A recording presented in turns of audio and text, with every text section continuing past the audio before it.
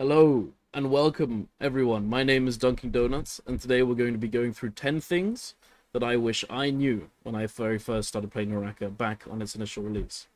And number one is going to be Tae management. So I'm not 100% sure that this is necessarily going to apply once the new update hits tomorrow with the free-to-play and PlayStation, all of that, since I've heard some things about a new currency called Hero Coins. And something. I'm I'm not really sure how it's going to work exactly, but it may make some of what I'm about to tell you uh, like obsolete. But I'm going to tell you anyway, just in case it doesn't. So, when you first start Naraka, you're going to be bombarded with all the amazing stuff that you can spend your Tae on. But there is an actual optimal way of spending it. At the very, very beginning, you're going to have this Tae, this, this in-game currency and you can spend it on whenever you like really. Like realistically you can play it spend it on whatever you like. You can spend it on cosmetic you can spend it on whatever. Or new characters. But when you're very first starting out the best way to spend your Tae is to save it on glyphs so that you can upgrade your glyphs when you unlock those slots. Because glyphs are possibly one of the most important parts of Naraka especially at the very beginning.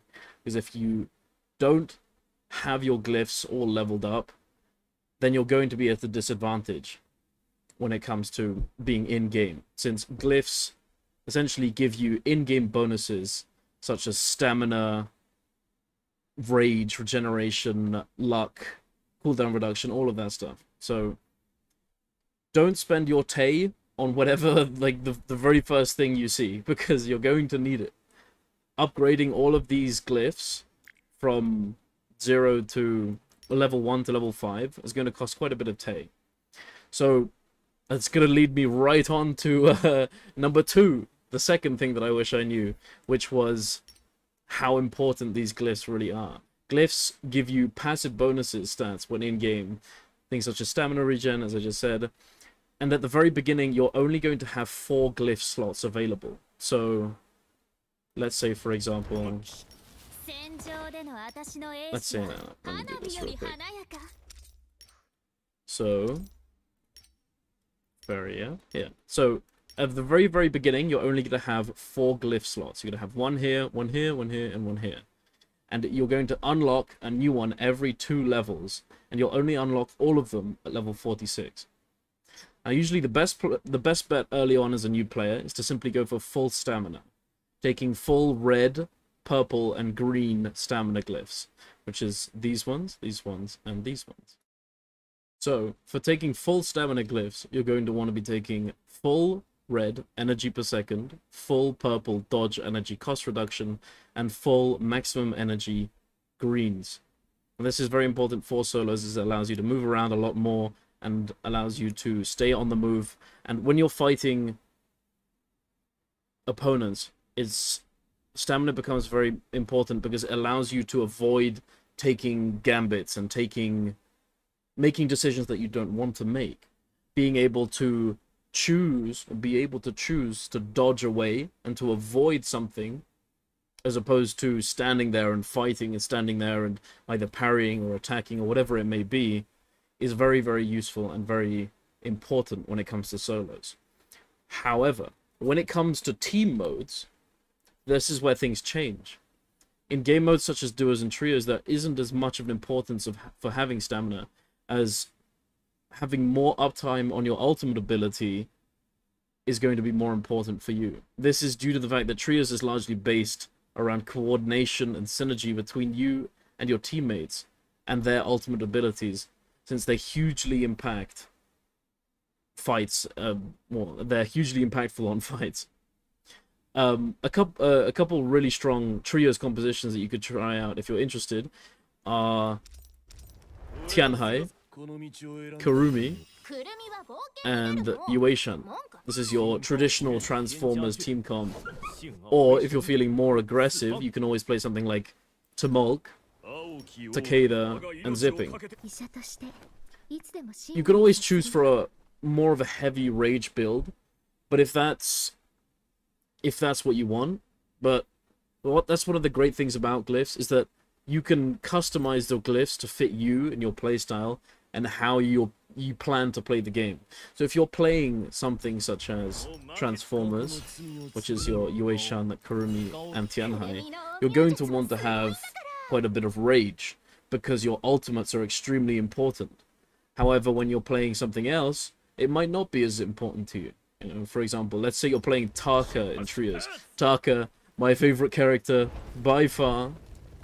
Um, you don't really want to take rage on him in Trios, as quite frankly, if you get caught when you're playing this character, you're very likely going to die. and you need the stamina to be able to maneuver around the fights so that you can stay alive and be impactful on the fights. So it's very much up to you and what characters you're playing and what the team composition requires from you, if that makes sense. But yeah, so when it comes to blue, as I said, preference, this is up to you, really. Skill cooldown, grapple distance, you know, luck. Like, these different glyphs are like they're they're much more personal. Like you can take a little bit more grapple distance if you feel like it. You can take more skill cooldown if you if you so choose. I personally take skill cool, skill cooldown because I feel like it's one of those glyphs that's just going to give me a flat bonus all the time.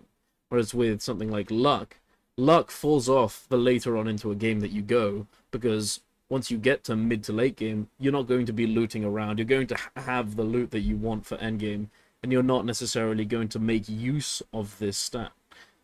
So it's up to you, really. But uh, as I said, when you first start, you're only going to have four of these slots, and you won't get all of them unlocked until you hit level 46. It's a pain, and that leads me on to the third thing that I wish I knew, which was how to level up quickly. Leveling up is probably going to be the focus for a lot of you. So if you're like me and you can't be bothered up, bothered, bothered, bothered up, Lamau.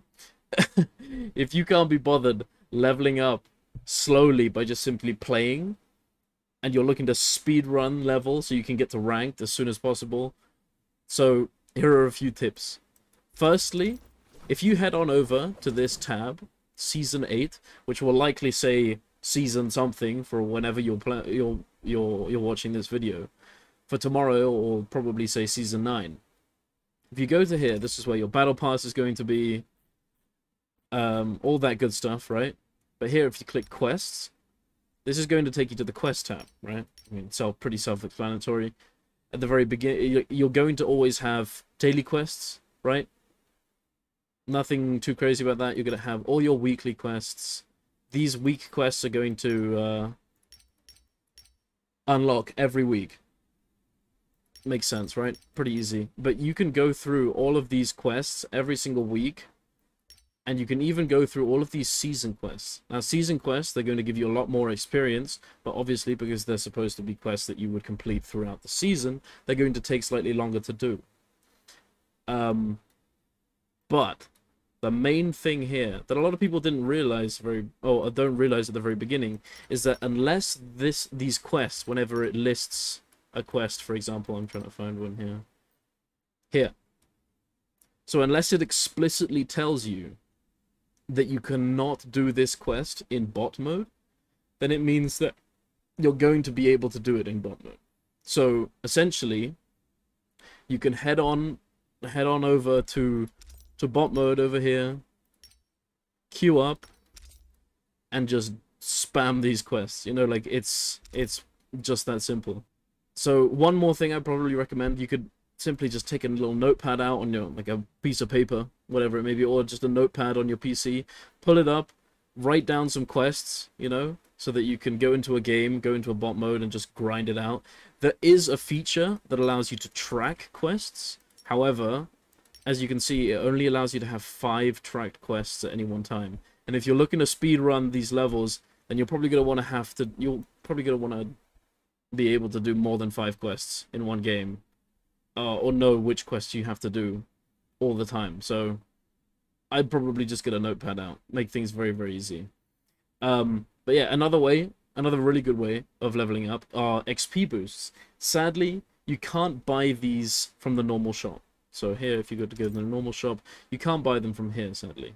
However, if you go down here to the event center you go to limited time events, you can typically buy XP boosts. So for example here, 2 hour XP boost. You can buy this for whatever this event's currency is, and it will allow you to level up much faster. It's in the name. Not very, yeah, not very uh, complicated. But yeah, that's one good thing as well, though, that Naraka does very, very well, and very often, is that there is always an event going on. They've done this for as long as I can remember. I don't think there's ever been a week where there hasn't been an event going on. So don't worry, there will probably be an event that you can get an XP boost if you so want to do that.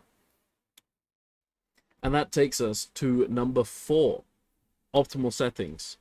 The graphics in Naraka are truly beautiful. If you crank it all the way up, you're going to feel like you're walking around in a movie. However, sadly, this is uh, not really what you're going to want. Unless you're planning on playing this game in the most casual of senses, you know. So what you're going to want to do is go into your graphic settings and literally turn every single setting down to the minimum possible setting. So as you can see here, every single thing to the lowest, every single thing. Since you're going to want to have the highest FPS possible, since it's very impactful. There's a lot of stuff going on in game. FPS does have a fact, like, does play a role in the game. So, definitely very, very important. Um, when it comes to DLSS, though, there are some people who swear by it and think that DLSS is definitely something to have on, but then there are a whole bunch of people who think the opposite. And I'm one of those people. Personally, one, I don't really like how it makes the game look. I don't really like how it looks. And two, when I've used it to test it out, I've not really seen that big of an improvement, but it's probably something to do with my PC, and it'll probably be different for everybody. So I would recommend that you go and do some testing, try out the different settings, try out different, uh, try out DLSS, see if it works for you. If it does, great. If not, don't use it. Um, and if you are planning on not having everything on lowest or anything like that, I still very strongly recommend that you make sure that modeling accuracy, this setting right here, is turned all the way to lowest. If you have it on low, like you still need to have it on lowest basically when you have it on low what this does essentially is puts more shrubbery and grass and leaves into the world. So but when you have it on the lowest possible setting it removes all of that. So not only is it going to allow you to see things better like literally it makes things far more visible from much further away your vision is going to be obscured by leaves, grass, random bushes, you know, you don't want that. And on top of that, it's going to boost performance a considerable amount. Having it on lowest does make a big difference because it means that your PC doesn't have to render all of this unnecessary stuff. However, it does look really pretty when you have it on, so you know. um, but yeah, um, it's I personally would never put it on. But anyway, moving on from graphic settings, I'd also like to recommend a few other settings you should definitely make sure you have on. And if you head on over to gameplay, one of the most important ones is ceiling interaction. So this allows you to attach yourself to ceilings by simply jumping to them and holding W. As opposed to having to grapple to them. Here, if you see off, you can only hang from ceilings by grappling hooks. So you'd have to grapple to the ceiling and then not press anything and it would attach you to the ceiling. But if you have this on, W and spacebar will attach you to the ceiling and it will then allow you to use ceilings um, to essentially scale rush off from. We're going to talk more about that a little bit, um, but one step at a time. Another thing, definitely important to have on, I would say, is grappling hook shot. This, by default, is set to auto-aim, auto-aim. However, I would suggest that you change it to auto-aim, manual aim, or manual aim, auto-aim, depending on which button you want to have to click. This allows you to grapple invisible targets, allows you to grapple the floor or whatever it might be that's next to the person that you want to grapple after. So let's say you're chasing somebody and they're about to get out of range of your grapple, if you shoot with the auto-aim grapple, it will try and grapple the target, the person. But if you grapple the floor next to where they are, um, is going to have the pretty much the same effect. But if you're auto aim and if you're trying to grapple the specific person, if they manage to get out of range of your grapple, your grapple will go through, but then cancel, and you'll you won't like maintain momentum, and you might end up not catching that person. So a very useful thing to have on. Definitely will recommend this. Uh, oh, and side note, never, ever, ever, I cannot stress this enough, never, ever, ever turn off melee aim assist. No matter what anyone ever tells you, this is one of the most important things to have on in the game. And anyone who tells you otherwise is talking out of their ass. I swear to God. Like, as of right now, there is no reason why you should ever have this off. This is possibly one of the most important settings to have on. Because it allows you to... I mean, it does what it says, you know, like, it's going to magnet your attacks to your opponent. And it's something that everybody uses. It's not about whether or not you're skilled or not. It is simply something that is part of the game and that you should 100% use no matter what. And that takes us over to number five. Another setting or keybind that some of you may have noticed is quick parry and normal parry. As a new player, I do recommend that you start playing the game using quick parry as quite frankly it's just more optimal choice. This is due to the fact that it allows you to parry out of most animations without having to cancel it manually first. This didn't used to be a thing way back in the day, so if you see videos claiming that quick parry is bad, make sure that it's up to date before you listen to it. If you head on over here, quick counter. This is what I'd recommend using as a new player. Alright, for, for sure. Um, there is an option. Where is it? There is an option here. So if you were to turn this off, it'll it would essentially make it so that the only way that you can parry is by using quick counter and the normal way of parrying, which is pressing both mouse buttons at the same time, would no longer act as a parry. It wouldn't work. Um, you can do this, but I do not recommend it even though quick parry is by far the more optimal choice, there are a couple things that you can only do with normal parry, um, or could do better with normal parry. So, first of all, is a sprinting parry. So, this is the act of parrying straight out of sprint, basically, um, without any action beforehand. So this is what it looks like with a normal parry. As you can see. And this is what it looks like with quick parry. It's ever so slightly slower. This is quick parry. And the reason why this happens is because quick parry is trying to essentially take you out of the sprinting animation before parrying. Even though sprinting or parrying straight out of sprint is clearly doable, it still tries to stop you and then use the parry. Um, and it's possible that they might fix this at some point, but for now, this is this is one of those things. Uh, and the next thing is the next thing is the ability to cancel sliding and normal crouched or jumping attacks more easily into parry. So when doing it with quick parry, it occasionally doesn't cancel the animation that you're trying to cancel, but instead buffers the input for after the animation or whatever it was that you were trying to cancel. So let's say, for example, you're doing a sliding, uh, a sliding uppercut with longsword, right? You're trying to do a sliding uppercut. If you watch closely here, slide, you can see that the animation is starting up Right, this is the this is the full animation. You can see this is by this is by pressing um this being in sprint crouching pressing the vertical attack button and then before the animation is completed pressing the, uh, the horizontal one at the same time. You're essentially cancelling it into that. And it works with everything, really. You can do it with the katana. You can do it with every weapon.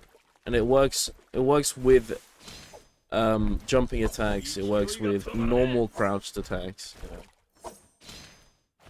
But uh, it's most easily like visible. It's most easy to demonstrate by doing the sliding up. Um, and possibly the most useful because it's got a longer startup animation, meaning that you're going to be able to cancel it when you want to. But if you try and do this with quick uh, quick counter, sometimes it does this, as you can see. So this is when you try and do what I just did with quick counter instead. And sometimes it works, just like I did then. But the thing is, some of the time it's also just going to not do anything. Or give you an a pre-input parry after your animation has finished, which isn't necessarily what you want. Yes. Moving on over to number six, understanding soul jades. Now, Naraka, as you may know, has a lot of different melee and ranged weapons. And for each of those weapons, there are soul jades. Each, all of which have something special about them, change something about how each weapon functions in one way or another. As well as this, there are of course your base white and blue soul jades that only give you passive stats and nothing more. So each purple soul jade give you these passive stats as well, along with the weapon changing passive. Let's pull these up over here. So let's say Purple Soul Jades, Overlord. If I pick that up, 6% plus 6% melee, uh, melee damage reduction. Um, but Gold Soul Jades, so the, the purple one will give you the same stats as the blue one would do, but the gold one the gold melee resist jade, for example, will give you extra. It will give you plus 9% instead of plus 6 sorry. Now, one thing to note is that it doesn't matter how many jades with the same stat that you take. Once you reach the cap of each stat, you can't you uh, you can't get any more. That's it.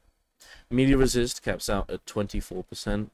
So if you like, you can take four melee resist jades and that's generally that's generally a, a good way of looking at it.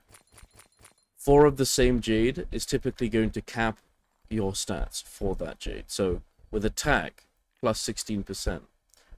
However, although when it comes to attack, Juggernaut, Desperation, and consumables such as Prickly Pears, they act as a as a different source of bonus attack. So as you can see here, Juggernaut attack plus one this stacks up. So every time you get a kill, it gives you um, 3%, and it gives you an extra 16% total. So you can essentially get up to plus 32% attack with fully stacked Juggernaut and max attack. And then if you were to run Desperation, Desperation is a Soul Jade where when you're below 50% HP, it gives you an attack bonus. Um, it would uh, it would count as extra attack. Uh, but other than that, there isn't. There are no exceptions. Um, health. Forty-eight percent health plus plus forty-eight percent, and then range resists.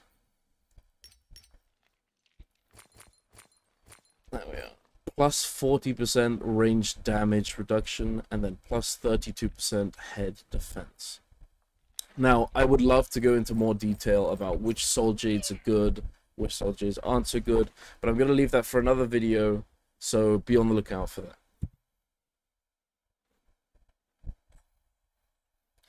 Now, moving us on to number seven. Some of you may be wondering where exactly I am.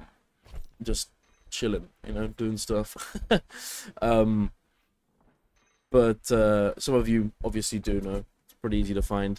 And this is the training grounds. And it does pretty much what it says.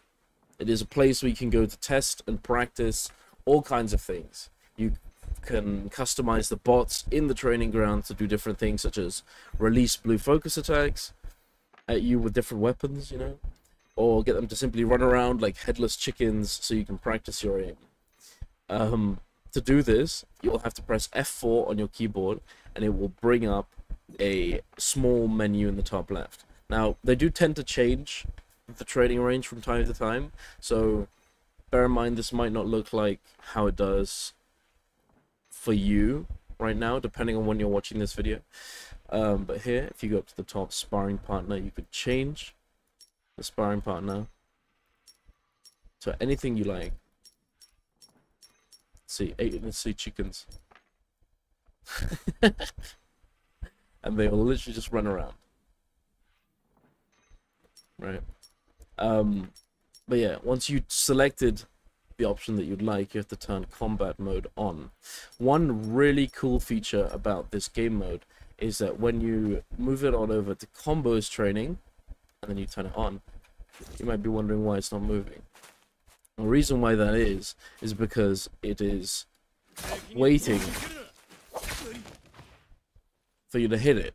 And then once you hit it, it will then try to dodge away the moment that it can. Meaning that essentially you can test combos on this uh, on this bot and make sure that they're true combos.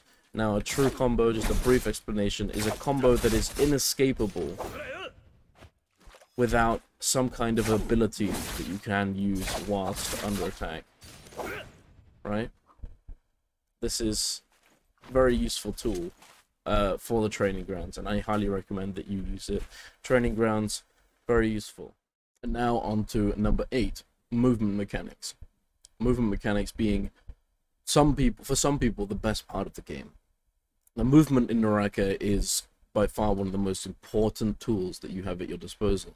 Mastering it will give you a substantial edge over your opponents, being able to jump in and out of fights swiftly, whilst potentially leaving the opportunity for re-engage open at all times, making you extremely hard to deal with. The first thing that I would like to talk to you about is scale rushing. This is one of the best tools that you can use to move around terrain, such as buildings and cliffs more easily all of it all it is is attaching yourself to a wall or ceiling and simply pressing your horizontal attack button. Once you do that it will then send you it will launch you from the wall in the direction of where your camera is facing by tapping it. Or you can choose to hold it and charge it up to a blue focus stage which will do more damage and will go further, empowering the tank, which can do devastating damage with the rare weapons, or can simply be a tool to open up your opponent and put them into a combo. An important thing to note is that although you can do this on walls and ceilings, when it comes to cylindrical objects, such as trees or pillars, if you attach yourself to a tree or a pillar and just tap your horizontal attack button, it will take you up the tree, doing a sort of upward sweep.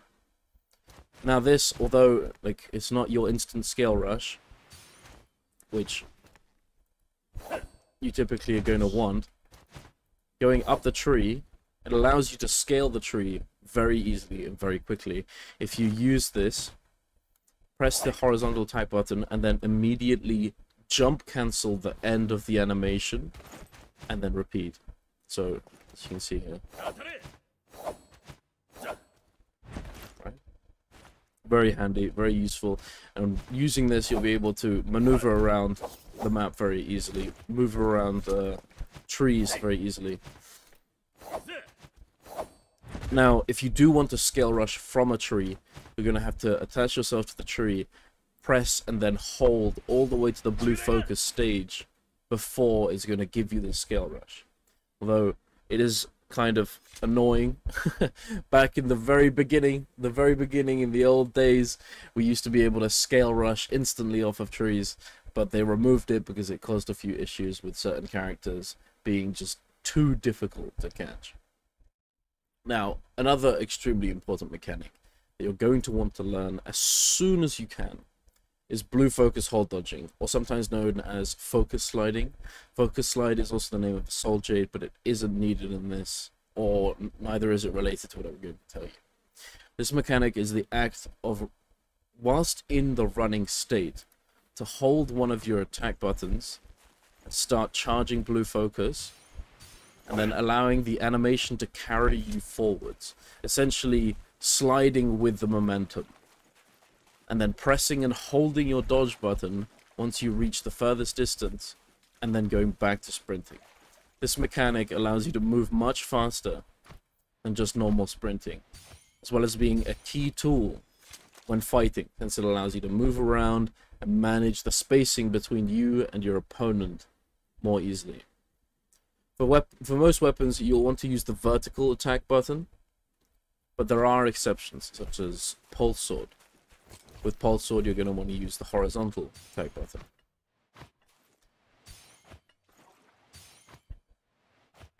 Yeah. All it is, whilst in running state, as you can see, when you're doing this animation, when you press your vertical attack button and start holding it, it continues to carry you forward, just like so, right? You don't want to release the attack. You want to cancel it once it reaches the furthest point.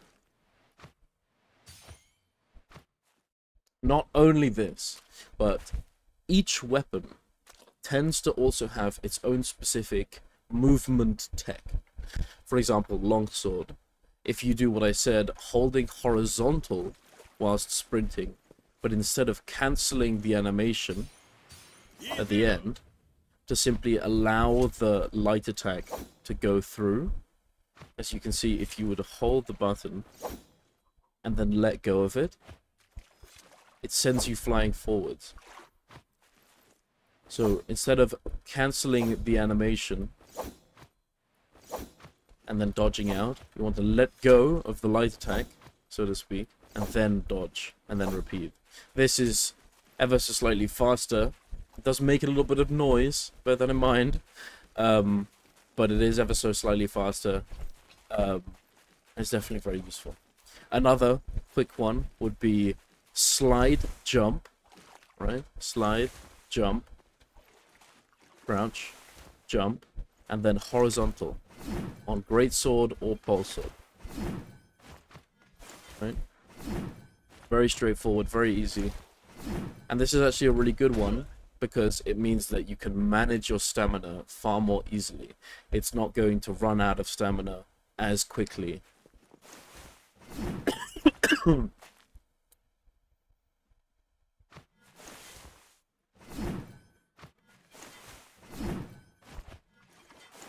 Very useful here.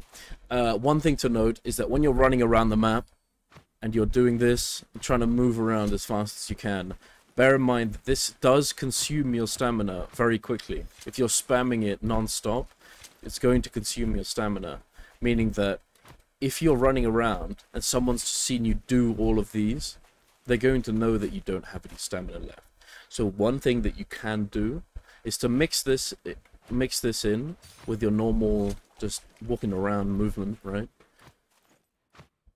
And then once you get to about half of your stamina bar, just swap to swap to slide jump, you know. Slide jumping is also an effective movement tech. And it's ever so slightly faster, depending on how fast you do it. Obviously, slide, jump, slide, jump. So, a couple of these, couple of these, couple more of these, you know? Mix it up. Right, it's essentially just so you don't run out of stamina and you just don't get absolutely lobbied because you can't move when you run into somebody. Um, there are obviously many more bits of movement tech that I would love to go into, but again, I'm going to leave that for another time. Or if you really want to ask, you can always come by my stream. I stream almost every day with the occasional day off to either coach or make videos or just rest up. Moving on to number number nine, half charging, escaping stagger, understanding focus. Now this is probably one of the most important out of the ten things that I'm going to talk to you about. In Naraka, there is light, blue, purple, gold, and ultimate focus.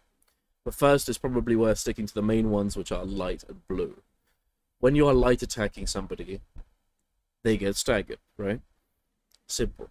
However, if that person is holding one of their attack buttons and it is it's in blue focus state, like this, that means they do no do not get staggered by light attacks any longer. You're holding this blue focus state, then you can no longer be staggered by light attacks. The only thing that will stagger them is another blue focus. So, blue focus takes priority over light attacks, right? But not just the attack itself, but the act of being in the focus state before the weapon has uh, released the attack, right? So, now, some people talk about there being a rock, paper, scissors mechanic in Naraka. And I don't really like this term, as it doesn't really encompass everything. And if you're going to dumb it down, it's much, it's less of rock, paper, scissors and more 50-50. In that you either commit or you don't. The idea that you can either look to contest what an enemy player is doing, or to back off in some way, you can do this while still ma maintaining pressure or not, regardless you're submitting yourself to a you're not you aren't submitting yourself to a gambit sorry getting a bit off track here but definitely worth thinking about the main thing i'm trying to demonstrate is that you should be very conscious of how you look to opening an engagement or look to try and prevent yourself from getting locked down and that you should be aware of the fact that when you hold blue focus it doesn't mean that you have to release it as a blue focus attack and risk getting parried to get any value. You can simply release it before it gets to the first charged state. This means that you can essentially tank light attacks and avoid the stagger or, or the attacks, and then choose to either continue holding and look to potentially release the blue focus, or you can release it as a light attack, and if correctly timed, potentially catch your opponent in between animations, gaining you an opening for a combo. Now, this obviously isn't something that you always want to do no matter what. The There is certainly value in simply releasing the blue focus attack, having held it in your opponent's face. Or trying to bait them into parry, you know, and then following up with a light attack combo. I could probably talk about this all day. There are so many intricate lines and different strategies with so many, so, so many different situations that you can find yourself in. So, but again, I'm not gonna, I'm not gonna go too far into it. The main things to take away, I would say, are being conscious of the fact that holding blue, while will allow you to avoid light attack stagger, and it doesn't need to be released as a blue focus every time. It seems like a rather basic concept, but it's something that I hear a lot of new players not being able to realize right away including me back in the day when the game very first went live on its day one. Um, but yeah, instead of going into exactly what all other focus states are, I think it's best to simply leave it as a sort of hierarchy, and it will allow you to determine what beats what, so to speak. So at the very bottom, you have light attacks, then blue focus, then purple focus. This is essentially blue focus that cannot cannot be parried. However, if it collides with another blue focus attack, it will clank. It's when the two focus attacks hit each other and then bounce off. Above that is gold focus. And this is a focus state that cannot be parried, nor can it be clanked by anything below it, so it can't be clanked by purple, blue, or light attacks. It can only clank against other gold focuses. And then above that, you have ultimate focus. Now, this is basically the term given to gold focus that you get when you're using an ability, an, an ultimate or an ability. Typically, you have the you have this focus state on the activation of your ultimate. And there are so many different interactions between different ability focuses and weapon focuses, and that would take way too long to go through. So as a general rule of thumb, this hierarchy, hierarchy focuses will, will always be true. Light attack, blue focus, purple focus, gold focus, ultimate focus. And finally, that takes us on to our very final thing that I wish I knew when I very first started. Last but definitely not least, ask questions. now, this seems trivial, But in reality, the more questions you ask, the more you will learn. Since this game is relatively unique and doesn't have other games that you can draw direct comparisons with, it means that coming into it isn't always going to be easy. There are plenty of concepts that are yet to be established. If you think of an FPS game, for example, most people who play these games are going to understand the idea of trading. The theory that you and your teammate will look to potentially peek an opponent, and if the the first person who peeks dies, it is then the job of the second person to peek to trade that kill for the person who killed his teammate. But when it comes to Naraka, concepts like this aren't aren't necessarily established yet. And they aren't necessarily easily understood at first. Now, on top of all this, the fact that on top of the fact that asking for help is always going to be useful, the fact that the Naraka community, I have to say, has been the friendliest and the most welcoming community I have ever been a part of. And people are always going to be very willing and happy to help for those who ask for it. This is where your story begins. I'm sorry I